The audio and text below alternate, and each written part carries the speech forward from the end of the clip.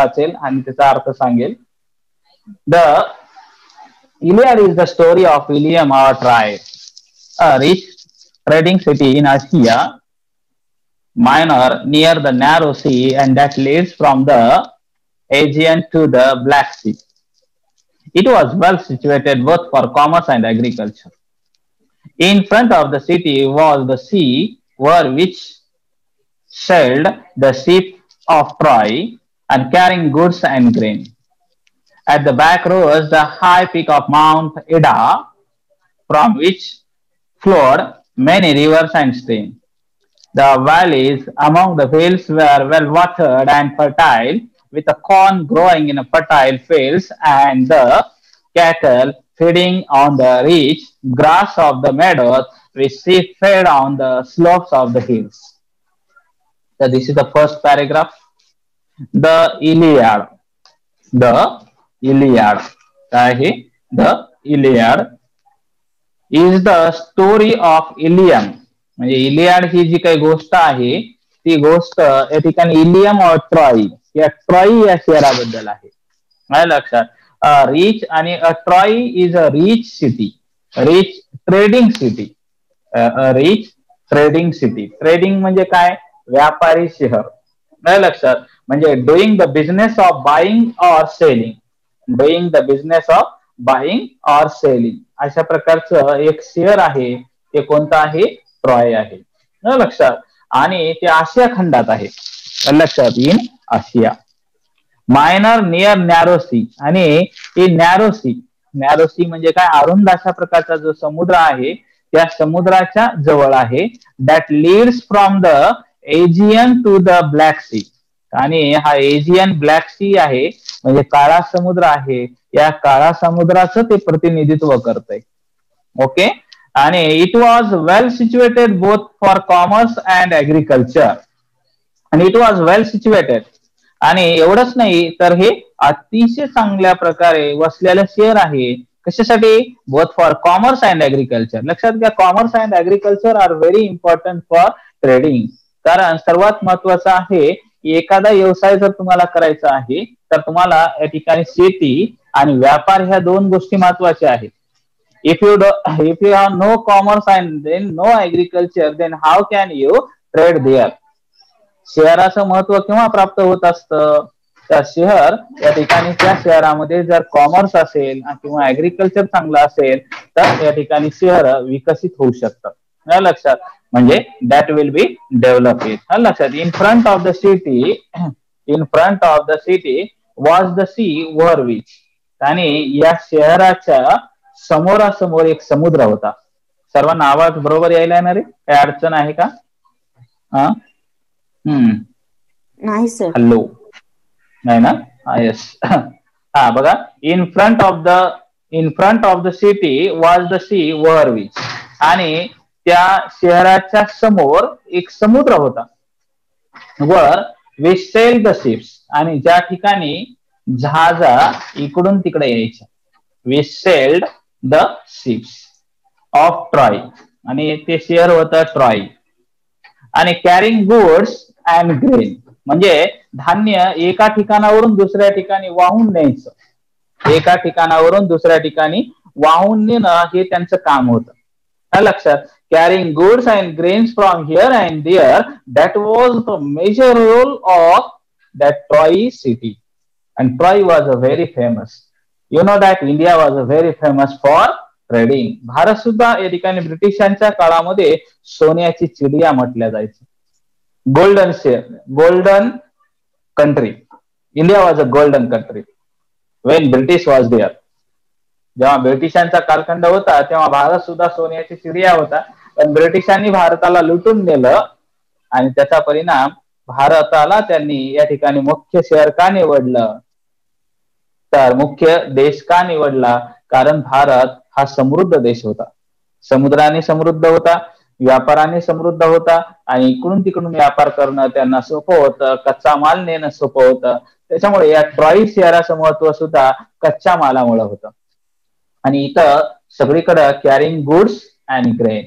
म्हणजे माल आणि धान्य या ठिकाणी इकडून तिकडं काय केलं जायचं? नेल्या जायचं. At the back rose the high peak of Mount Ida आणि एवढंच नाही तर पाठीमागे एक काय होता? मोठा अशा प्रकारचा माउंट इडा नावाचा एक पर्वत होता. एक शिखर होत. उंच असं शिखर. लक्षात? तर कोणतं पर्वत होता सांगा? हा येस तर माउंट इडा नावाचा एक अतिशय चांगल्या प्रकारचा पर्वत त्या ठिकाणी होता. लक्षात. आणि माउंट इडा जो माउंट इडा होता तो अतिशय या ठिकाणी मोठा पर्वत होता. कारण लक्षात घ्या त्या ठिकाणी माउंट इडा असल्यामुळे या ट्रॉई शहराचं रक्षण व्हायचं. पण from which followed many rivers आणि त्या ठिकाणी अनेक प्रकारच्या नद्या वाहत होत्या. आता लक्षात घ्या ज्या ज्या ठिकाणी नद्या असतात त्या ठिकाणी समृद्धी असते. आणि ज्या ठिकाणी नद्या नसतात त्या ठिकाणी आपल्याला पाणी दिसणार पाणी नसेल तर संपत्ती निर्माण होणार नाही. If you want to create the wealth then there should be like a rivers and stream प्रवाह आणि नद्या त्या ठिकाणी होत्या आणि ते शहर अतिशय चांगल्या प्रकारे वसल्या गेलेलं होतं. The valley among the hills आणि एवढंच नाही तर the valley among the hills were well watered and fertile लक्षात? म्हणजे द व्हॅली व्हॅली म्हणजे काय? दर्या आणि हिल टेकड्या. Were well watered and fertile passive voice एक ऍक्टिव्हाइस वाक्य हे सांगा. यस पॅसिवाईस आहे एक ऍक्टिव्हाइस हे वाक्य. हम्म. The valleys among hills were well well watered and fertile. Passive eyesight, right? So with a corn and in a fertile fields and cattle field among on the rich grass of the meadows. आणि एवढंच नाही तर काय होतं? With a corn growing in a fertile आणि अतिशय सुपीक अशा प्रकारचा एरिया फर्टाईल म्हणजे काय? सुपीक. अशा प्रकारची शेती त्या ठिकाणी होती. लक्षात? With a corn growing in a fertile field and cattle feeding cattle feeding म्हणजे काय? गुरढोर सुद्धा त्या ठिकाणी चारता येत होते. ऑन द रिच ग्रास आणि जास्त गवत असल्यामुळे त्या ठिकाणी गवताचे कुर्ण होते. कसे? Grass of the meadows grass of the meadows म्हणजे काय? गवताचे कुर्ण. लक्षात म्हणजे there were rich grass of the meadows and while sheep fed आणि त्यामुळे मेंढ्या त्या खायच्या on the slope of the hills आणि त्या खाण्यासाठी त्या टेकडीच्या पायथ्याशी या ठिकाणी संपूर्ण गोष्टी असायच्या. लक्षात असं हे ट्रॉय शहर होतं लक्षात आणि it was the importance of that Troy city लक्षात हे ट्रॉई शहराचं महत्त्व होतं ओके पहिला पॅरेग्राफ कळाला का okay Around their city, the Trojans had built a strong wall and so that no enemy should attack them from the sea. And the wall was so broad and that people could stand and sit and walk on it. And the great gates tour open and people could go to the seashore outside and come in, in as they pleased. But in a time of war, the gates would be closed and in the city was like a strong fortress, quite safe from all attacks and protected by the walls surrounding it, as well as by the hills behind.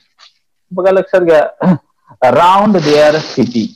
Around their city आणि ते जे शहर होतं त्या शहराची भोवती आजूबाजूची परिस्थिती कशी होती? Their city the Trojan had built a strong wall आणि जे ट्रोजन होते त्या ट्रोजन त्या ठिकाणी एक उंच अशा प्रकारची भिंत बांधली होती. कोणी? Trojan Trojan had built a strong wall लक्षात. Trojan had built a strong wall या वाक्याचा काळ कोणता आहे बरं? Trojan had built a strong wall हा yes past perfect tense right आता या वाक्याचं चेंद वाईस कसं होईल बरं? हा यस हम्म. फटाफट आलं पाहिजे माहितीये का? ज्याचा पहिला अभ्यास चांगला त्याला सोपं जातो. had been built by Trojans. हा right very nice a strong wall had been built by the Trojan sir लक्षात ट्रोझनकडून एक अतिशय मोठी भिंत बांधण्यात आलेली होती. त्या ठिकाणी the Trojans had built a strong wall so that no enemy should attack them आणि त्यामुळे म्हणून सो डॅट म्हणजे काय? म्हणून. त्या ठिकाणी अशा प्रकारे सो दॅटचा वापर केलेला आहे. So that no enemy should attack them from the sea आणि कुठल्याही प्रकारचा शत्रू त्यांच्यावर हल्ला करू शकत नव्हता. No enemy should attack them from the sea समुद्रातून कोणी हल्ला त्यांच्यावर करू शकत नव्हता. The wall was so broad आणि जी भिंत होती ती कशी होती? Was so broad that people could stand and see and walk on it आणि लोक त्याच्यावरून चालू शकत होते. जशी चायनाची भिंत होती आहे आणखीन ती. तर लक्षात घ्या ही जी मोठी भिंत चायनाने बांधलेली आहे ती खूप प्रचंड मोठी आहे. जगातली सर्वात मोठी भिंत. तशा प्रकारे या ट्रोजन लोकांनी काय केलं की आपल्या शहरावर कोणी हल्ला करू नये म्हणून त्यांनी आपल्या भोवती काय केली भिंत बांधली. काय लक्षात? आणि त्या भिंतीमध्ये या ठिकाणी त्यांनी काय केलं की अशी भिंत बांधली की ज्या ठिकाणी लोकांना बसता यावं आणि लोकांना इकडून तिकडे जाता यावं अशा प्रकारची मोठी भिंत होती. ती काही छोटी भिंत नव्हती. That was not a very short wall, but that was a long wall and that was a very big wall. they built. लक्षात त्यांनी अतिशय खूप मोठी भिंत बांधली होती. आवाज कटायला काय असं काय वाटायला का तुम्हाला? तर मी एकटाच बडबड करतोय असं काय आहे? हा यस आवाज येतो की आवाज. आवाज. हा ओके हा. तर बघा लक्षात या sit and walk on it हा लक्षात. ते बसत होते आणि त्याच्यावरून चालतही होते. द ग्रेट गेट्स आणि काय होतं? The great gates stood open and people could go to the seashore outside and come in as they please लक्षात. The gate the great gates stood the great gate stood open आणि ते त्या ठिकाणी त्या शहराच्या भोवती एक मोठं अशा प्रकारचं गेट लावलेलं होतं. गेट बांधलेलं होतं. लक्षात and people could people could go to the seashore outside आणि लोक समुद्र किनाऱ्यावर या ठिकाणी जाऊ शकत होते. People could go to the seashore and come in as they please त्यांना जेव्हा जेव्हा आनंद वाटेल तेव्हा ते मध्ये येत होते आणि बाहेरही जात होते. अशा प्रकारची परिस्थिती त्या काळामध्ये त्या शहरामध्ये होती. लक्षात दे. बघा लक्षात घ्या. People could go to the seashore outside या वाक्यामध्ये कोण सांगेल बरं? Use able to yes use able to people could go to the seashore outside the seashore outside right तर लोक या ठिकाणी त्या ठिकाणी जाऊ शकत होते. म्हणजे याचा अर्थ ते पात्र होते. लक्षात. त्यांच्यामध्ये क्षमता होती. एबल टू लावल्यानंतर क्षमता येते आणि इथं सुद्धा कुडचा वापर केल्यानंतर सुद्धा एबिलिटी येते. लक्षात. तर people could go to the seashore outside आणि समुद्र किनाऱ्यावर लोक जाऊ शकत होते आणि त्या ठिकाणी आनंद सुद्धा घेऊ शकत होते. In as they please but but but आलं की अवघड असतं. काय? परंतु परंतु म्हणलं की कोणी पुढची गोष्ट काही खरं नाही. But in time of the war the gates would be close लक्षात. पण युद्धाच्या काळामध्ये ते जे गेट होता ते गेट काय असायचा? बंद असायचा. आलं लक्षात? तर त्या ठिकाणी जेव्हा युद्ध व्हायचं त्या युद्धाच्या काळामध्ये गेट काय केला जायचा? बंद केला जायचा. And then the city was like a strong fortress आणि त्यावेळेस या ठिकाणी जे शेअर होतं ते फॉर्ट्रेस असायचं. फॉर्ट्रेस म्हणजे काय?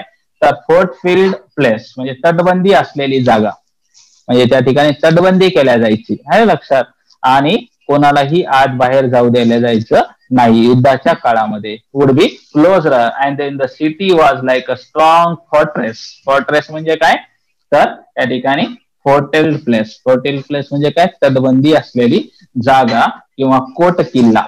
लक्षात जसा किल्ला होता त्या किल्ल्यामध्ये युद्ध चालू झाल्यानंतर कोणालाही आजूबाजूला बाहेर जाता येत नव्हतं. And quite safe from all attacks आणि एवढंच नाही तर सर्वांच्या हल्ल्यापासून ते या ठिकाणी सेफ करण्यासाठी तशा प्रकारच्या तटबंदी लावल्या जायच्या. Protected by the wall surrounding आणि एवढंच नाही तर भिंतीनं ते प्रोटेक्ट केलेलं होतं ते शहर. आणि it was hit as well as बघा ऍज वेल ऍज एवढंच नाही ऍज शिवाय बाय द हिल्स बिहाइंड आणि त्याच्या पाठीमाग टेकड्या सुद्धा होत्या. त्याच्या पाठीमाग काय होत्या? टेकड्या सुद्धा होत्या. लक्षात. तर अशा अनेक गोष्टी या ट्रॉईस शहरामध्ये होत्या. इथपर्यंत समजलं का? हम्म. ओके? समजलं का इथपर्यंत? हो सर. समज हा आता आपण बघूया पुढचा पॅरेग्राफ बघा. Next paragraph, years parent ahe. Thus, Troy was a strong city, strongly protected by its walls and strong defended by its brave soldiers. But all the kings and the heroes of Greece had declared war against the Trojan, because Paris, a prince of Troy, had persuaded Helen, a wife of a Greek king Menelaus, to elope with him.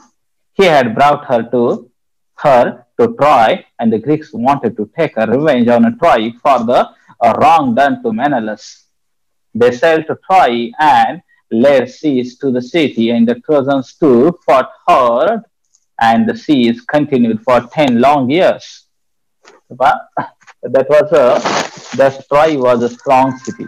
आणि Troy हे अतिशय त्या ठिकाणी मोठं शहर होतं मजबूत शहर होतं strongly protected by its wall आणि एवढंच नाही तर भिंतीनं त्याला प्रोटेक्ट करण्यात आलं होतं. But all the kings and heroes of Greece had declared war पण जे काही या ठिकाणी राजे होते ग्रीकांचे राजे हिरोज ऑफ ग्रीस काय? हिरोज ऑफ ग्रीस लक्षात ग्रीकांचे जे राजे होते had declared war against the Trojan आणि त्यांनी ट्रोझन शहराच्या बद्दल या ठिकाणी काय करायला ठरवलं? युद्ध करायचं ठरवलं. लक्षात ग्रीक लोकांनी ट्रोजनशी युद्ध करायचं ठरवलं. बिकॉज कारण काय होतं? What was the reason there हेच मुख्य कारण होतं की पॅरिस नावाचा राजा होता. There was a king and Paris prince of Troy आणि तो ट्रॉई शहराचा राजपुत्र होता. हे लक्षात. आणि ट्रॉई शहराचा जो राजपुत्र होता त्यानं काय केलं होतं? Had persuaded Helen wife of Greek king Menelaus लक्षात किंग मेनलस म्हणजे ग्रीकांचा राजा ग्रीकांचा राजा मेनलस होता. आणि मेनलसच्या बायकोला त्यानं पळून आणलं. सांगा दुसऱ्याची बायको पळून आणता येईल का? हा. नाही सर दुसऱ्याची बायको नाही सर नाही सर लक्षात घ्या दुसऱ्यांच्या बायका जर पळून आणल्या तर भांडणं होतील ना? तसं या ठिकाणी झालं. की हॅड परसुडेड त्यानं काय केलं? तिला खुश लावलं. आणि तिच्यावर प्रेम केलं आणि तिला पळून आणलं. लक्षात हॅड परसुडेड हेलन वाईफ लक्षात Helen wife of Greek king लक्षात Helen wife of Greek king Menelaus लक्षात त्या हेलन जो या ठिकाणी राजा होता म्हणजे Paris prince of Troy had persuaded Helen Helen ही या ठिकाणी कोणाची बायको होती? हा कोणाची बायको होती हेलन मेनलस राजाची. कोणाची? मेनलसची हा लक्षात आणि मेनलस कोणाचा राजा होता? हम्म मेनलस कोणाचा राजा होता? ग्रीकांचा राजा होता. आणि ट्रॉय शहराचा राजा कोण होता? हा ट्रॉय शहराचा राजा कोण होता? हा पॅरिस. कोण होता? पॅरिस. हे राजपुत्र होता. कोण होता? हा राजपुत्र होता. त्यानं या ठिकाणी या ठिकाणी काय केलं त्यानं? ती बायको पळून आणली. लक्षात. आता मला सांगा दुसऱ्याची बायको पळून आणल्यावर भांडणं होतील का नाही? हा. तो इलोप विथ आणि तो इलोप इलोप म्हणजे काय? इलोप म्हणजे काय? To run away from home with lover प्रिय कराबरोबर चोरून चोरून पळून जाणे. म्हणजे ही जी मिनलसची बायको होती हेलन ती पॅरिस बरोबर पळून गेली. पॅरिस बरोबर काय झाली ती? पळून गेली. ओके इथपर्यंत कळालं का सर्व